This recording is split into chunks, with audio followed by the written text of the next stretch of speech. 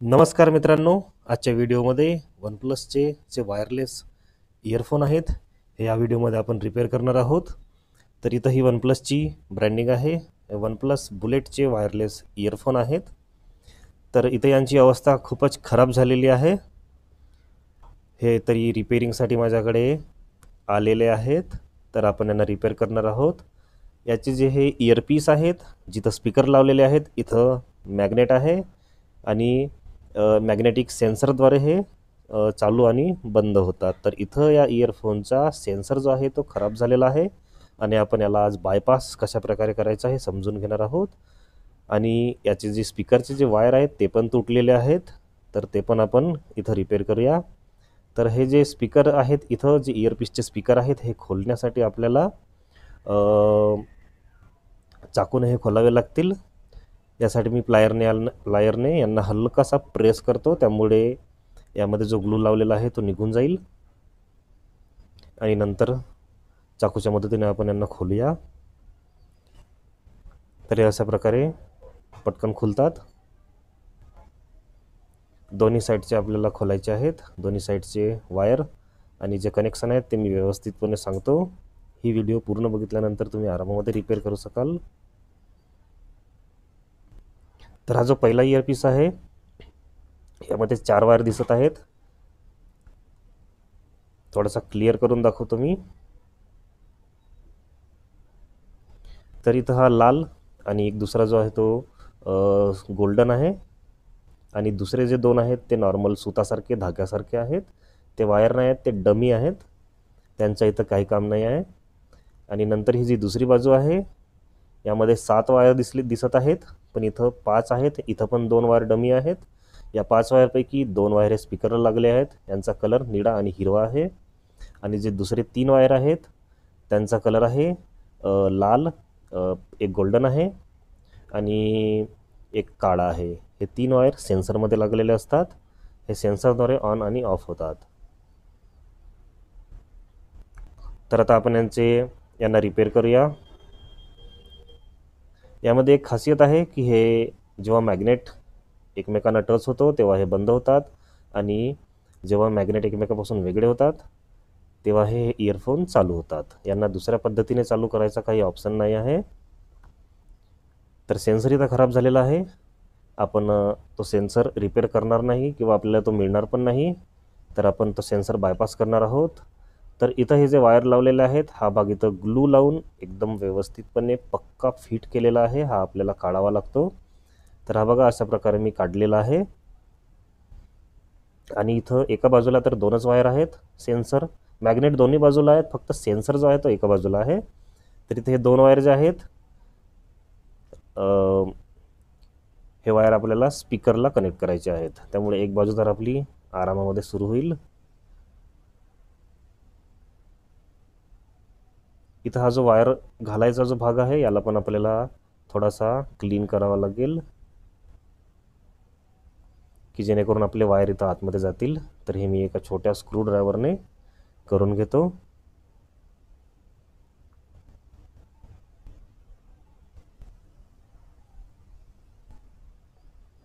इथं आपल्याला वायर टाकावासाठी जागा बनवावी लागते.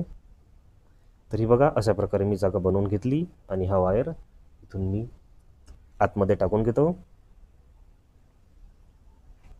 हा अशा प्रकारे मी आतमध्ये टाकला. आणि इथं हे जे दोन वायर आहेत हे आपण स्पीकरला कनेक्ट करूया. जे दुसरे दोन डमी आहेत त्यांच्या इथं काही काम नाही कदाचित ते प्रोटेक्शनसाठी असावेत.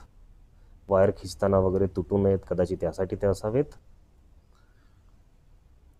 तर मी सोल्डरिंग करून दाखवतो. तर हे बघा अशा प्रकारे मी सोल्डर केले दोनच वायर आहेत.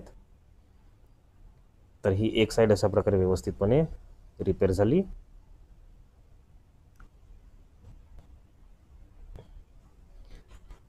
नंतर हे जे वायर आपण आतमध्ये टाकले इथं थोडासा ग्लू वगैरे लावून सुपर ग्लूच्या मदतीने याला व्यवस्थितपणे फिक्स करणार आहोत. आता ही दुसरी बाजू जी आहे ही मेन बाजू आहे याची. तर या बाजूला स्पीकरमध्ये दोन वायर आलेले आहेत आणि दुसरे तीन वायर जे आहेत ते सेन्सरमध्ये गेलेले आहेत. तर ते जे हे जे कनेक्शन आहेत मी हे व्यवस्थितपणे यामध्ये दाखवतो. तर इथं बघा हे जे वायरचा कलर आहे हिरवा आणि निळा. हे वायर जेव्हा आपण डिसोल्डर करून बाहेर काढतो त्यावेळेस आपल्याला हे कनेक्शन लक्षात ठेवायचे आहेत की कोणते वायर स्पीकरला आहेत आणि कोणते वायर आपल्या सेन्सरला लागलेले आहेत. तर इथं पण हा जो भाग आहे याला पण व्यवस्थितपणे ग्लू लावून फिक्स केलेला आहे. आणि हा जो भाग आहे हा आपल्याला ज्या आपण पहिल्या इयरपीसचे काढले तशाच प्रकारे याला पण व्यवस्थितपणे क्लीन करावा लागेल. आता हे थोडेसे वायरकडे बघा. इथं हे सात टाईपचे वायर आहेत. आणि या सात वायरमध्ये दोन वायर जे आहेत ते डमी आहेत. आणि सा आणि जे उरलेले पाच वायर आहेत म्हणजे मेन पाचच वायर आहेत. तर या पाच वायरमध्ये दोनमधले दोन वायर स्पीकरमध्ये गेलेले आहेत हिरवा आणि निळा.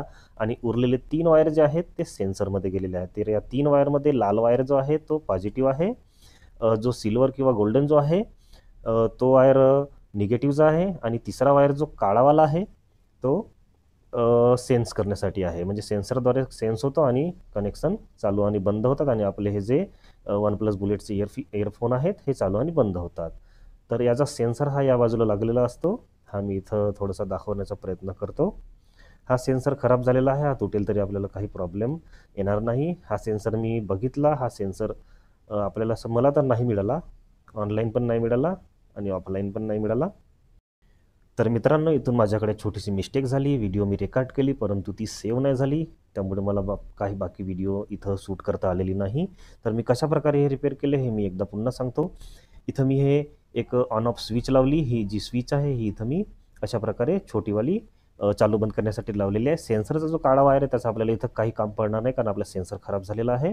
तर आणि जे दुसरे पॉझिटिव्ह आणि निगेटिव्हचे वायर आहेत त्यांना मी इथं या स्विचला कनेक्ट केले आणि जेव्हा चालू आणि बंद करू ही स्विच तेव्हा आपले हे इयरफोन चालू आणि बंद होतील. मॅग्नेटिक तर आताही काम करेल पण मॅग्नेटिक सेन्सर आपला काम करणार नाही. तर हे ऑन ऑफ मॅन्युअली आपल्याला करावे लागतील.